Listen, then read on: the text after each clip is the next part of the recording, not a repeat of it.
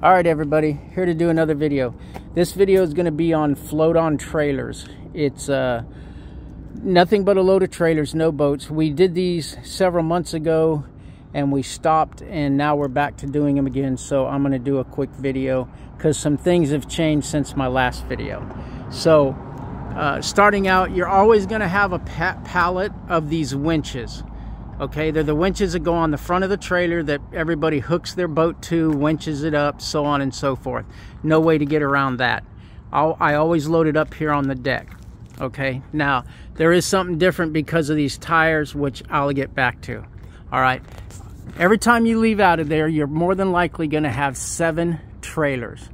I don't know how many three axles you're going to have and how many two axles you can have. It's been different every time. This is the biggest load that I pulled out of there, okay, which was five three axles and one two axle, okay.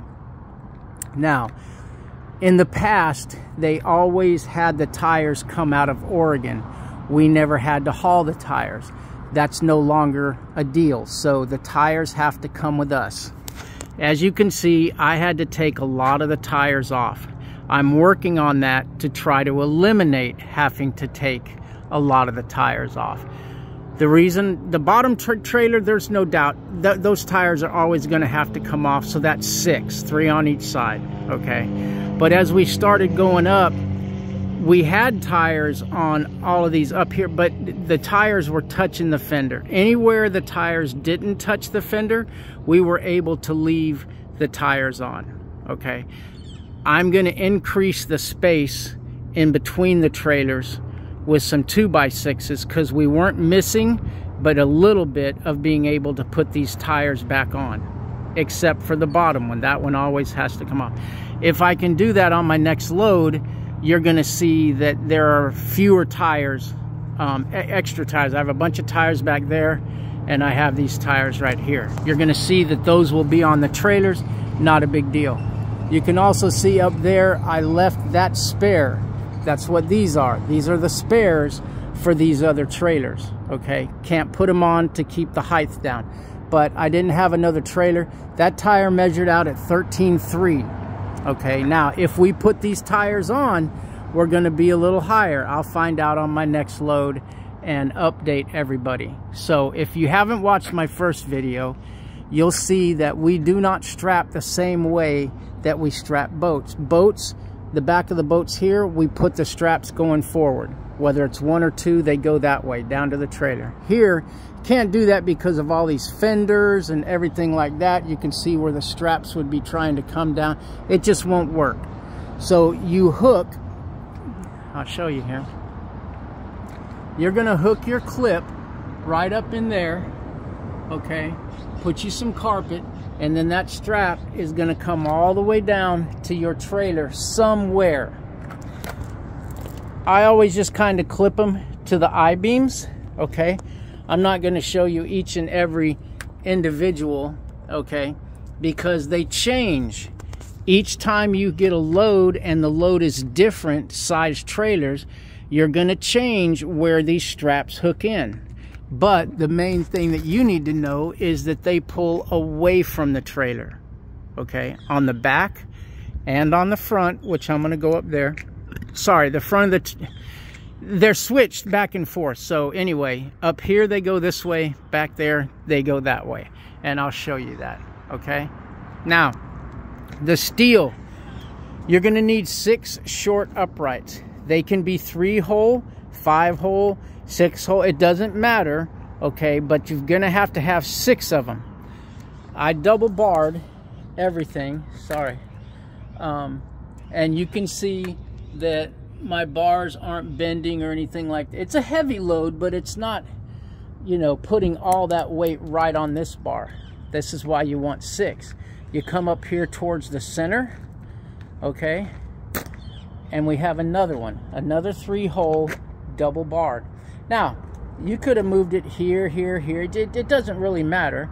We just want to try to catch it. And actually, I probably should have brought it back, you know, a little bit, but that's okay. All right, here's a view of what the trailers look back here.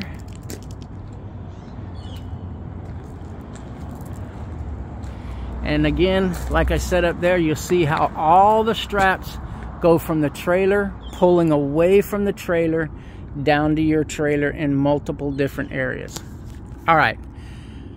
Because we had to remove so many tires, I built this rack, okay? The tires fit in it really nicely. I did this years ago when we were doing boatmate trailers and we always had to take the tires with us, okay? I'm hoping to eliminate as many of these as I possibly can. But if you have to build a small rack like this, because if I can get rid of that many, then you could just use a shorter upright back here to put the bottom ones on. Okay, no matter how you look at it,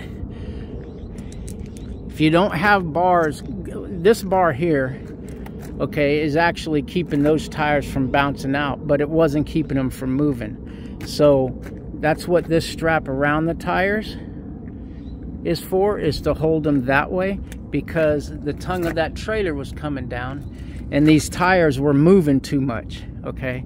So that strap holds those tires that way, that strap holds those tires that way. Up here, there was no neck of a trailer in the way, so I was able to put enough tires to where they wedged themselves in there, but I still ran a strap all the way across the top, around that top set of tires, and down to my trailer. I had to hook two straps together but that's fine. It rode the whole way over here like that. Always make sure to put your sway strap. I only needed one. I put it on the one in the back because it was going to probably jump more. All right. So anyway, if you have to, you can call me or whatever. If this isn't explanatory enough, give you enough explanation as to what you need to do to haul the tires. But again, I'm going to try to eliminate as many of these as I can by putting them back on the trailers, raising it up. We'll be a little higher, okay? I'm going to check with the state of Florida, see how high they'll let us go without having to permit it. I'm hoping it's around 14 feet, and um, uh, then we'll be good to go, and we can probably get all the tires except for the bottom ones on. Okay, coming down this side, it's going to be the same as that side over there. All the straps come away.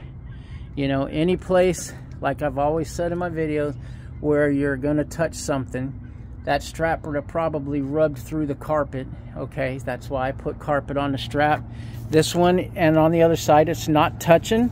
But if this strap would have got a little loose in transit, then, uh, you know, it might have sat here rubbing against that light. But you can see the light looks great.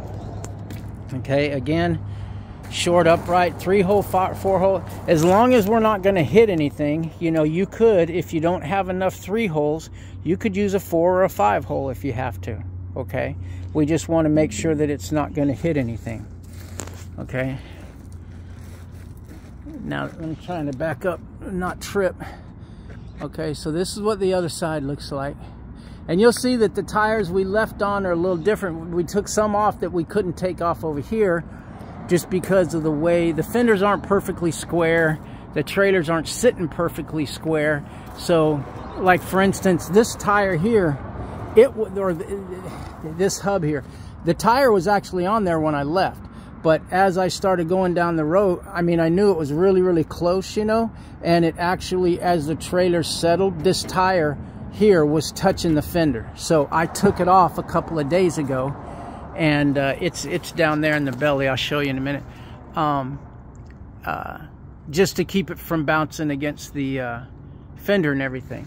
The other thing that I forgot to touch on, um, you need to pick up some chain. Okay, now this chain here and this chain here, I took out of the container at the yard. Okay, any tires that are not on the trailer, we need to lock up okay? They're too easy to steal and they're not cheap and people will grab them if they can okay? So get some locks. I've already talked to buddy. He'll reimburse you for any locks that you have to purchase. And get some decent locks okay? Don't go buy a dollar lock okay that someone can just come up in a couple of whacks with a hacksaw. It's gone you don't have to pay two or three hundred dollars but just get some decent locks okay to lock your stuff up all right, so back over here. Like I said, I took that other tire off that we left on at the plant and I put it in the belly but you can see I got it locked up with a chain with carpet around the chain so it doesn't mess up the nice pretty rims and all of that kind of stuff okay same over here as over there.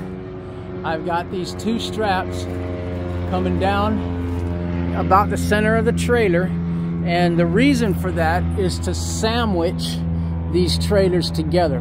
Bring them down so that it keeps the rocking and everything like that um, out of the trailer and it helps it the trailers on my trailer to move with my trailer okay? Now the, the that, we know that that's not 14 feet high um, I didn't measure it but uh, you can take the you know the straps with the o-rings that we have if you don't have these red ones which a lot of you don't uh, that have the nylon loop you can go around the trailer with those o-ring straps come in and clip your strap to those and then come down. But always put carpet. You can see that it's nice and carpeted.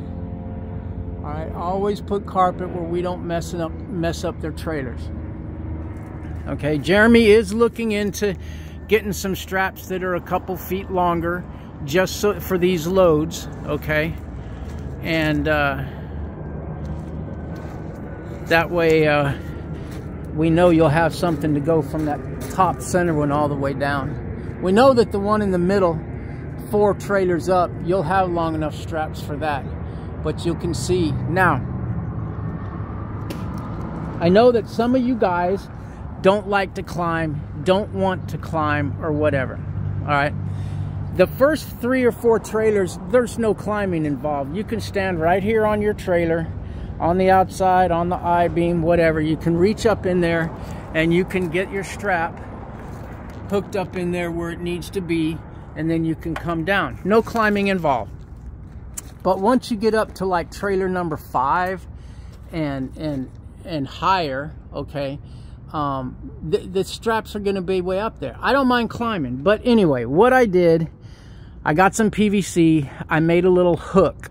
It's there at Float On okay it's I don't know maybe five or six feet long it's got a 90 degree elbow with a piece of PVC coming out so what you can do because I did it just to make sure that you guys wouldn't have to climb when these trailers are out on the ground in the shop hook your straps to the trailer however you need to in the all the backs are going to hook like this okay all the fronts are going to hook underneath there just take your hook put it in there, slide it forward. Make sure you're not catching any electrical lines. You can push them out of the way. I've done several of these loads and never had an issue. Okay, that's the front of this trailer here. So all the backs are gonna be like that and all the fronts are gonna be like that. Cause see, there's the next front up there. You see? Let me zoom in a little bit. Okay, so they all hook the same. And then that one right there. Okay? Not a big deal. So anyway, if you attach your straps, just like we do at Nautique and other places, while the boat is down, they'll pick the boat up, or the trailer up, they'll bring it over, they'll load it. Their guys are going to be up there climbing around, doing all this banding. See those metal bands and putting the wood. They do all of that, okay? Once it's up there, if you hook it while it's on the ground, and then you just loosely like hang your strap over the backs and the front, once it's up high like that, you take that piece of PVC that I made, you go up there and you hook the strap and pull down and the strap will come falling down. You grab it, you put your ratchet on it, and then you go right down here to wherever you're going. I did that on this load just to make sure that it was doable. And it's very doable where nobody has to do any climbing or anything like that, okay? These tires here are because I couldn't put any of the spare tires on these trailers or we would have been way over height. So we know for sure you're gonna have seven spares, okay? There's eight up here because of the tires that are taken off of here. But if I can get all these tires on, then you'll only have the spares plus six more. Okay, that's 13 tires versus 31 tires that I had to take off. Well, they, they were off there, but that I'm going to have to put on. okay? And hold on, I'm gonna pause it and walk around. Okay, back over here. Here's the thing with the straps, okay? You're gonna need right around 38 to 40, 35 to 40, depending on if I can get rid of that back there by putting more of the tires on, you'll need a few less. But let's just say around 40 straps, okay?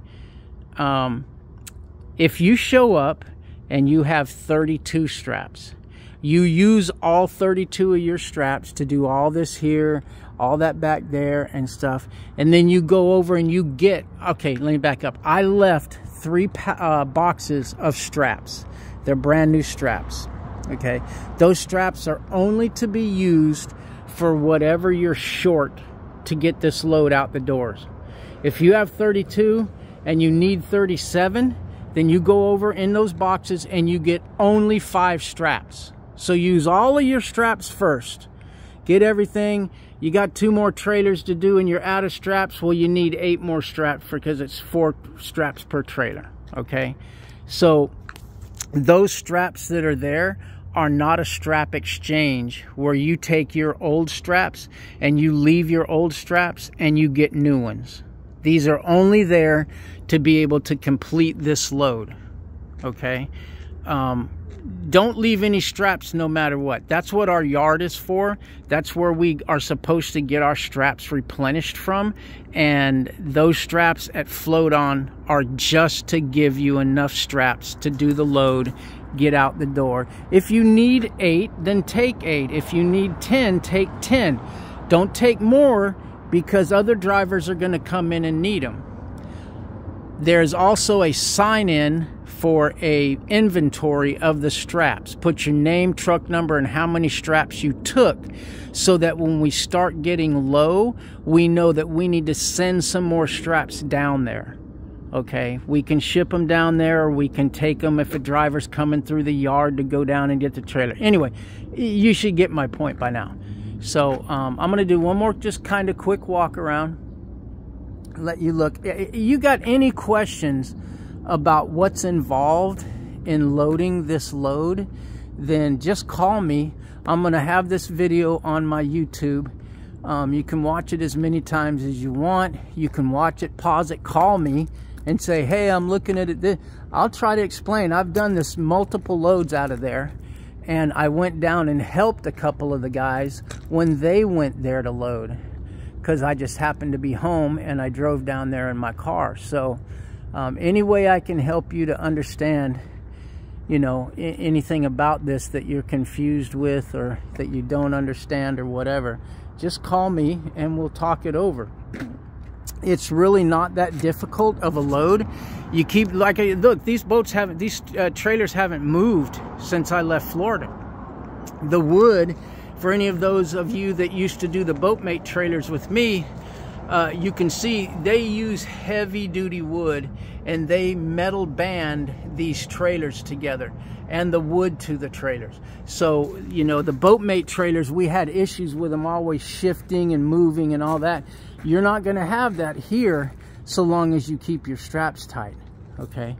And you strap them the way I'm telling you, away from the trailer. And putting these straps here and sandwiching them together, which it also what it does is when you're going down the road your these stack of trailers are going to move with your trailer instead of opposite like your trailer's moving and these are shaking these two strap these four straps two on each side are going to help eliminate that okay i didn't measure that one right there but i know that that tire back there is 13 so you use that like i said use that tire strap with the o-rings go around it come down and uh, you should have long enough straps to do that.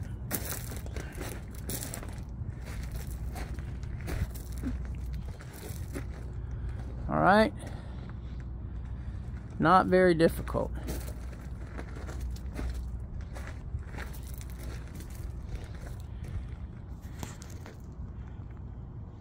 Oh, let me touch on one thing. The reason I had that space in those tires in the very back is because we had all this room up here um, that we could have slid this back boat back, okay? Um, partially my bad. If we slide the very bottom all the way back up to here, or if you've got a toolbox, right to the toolbox. That would have eliminated the tongue of the trailer back here going in between the tires.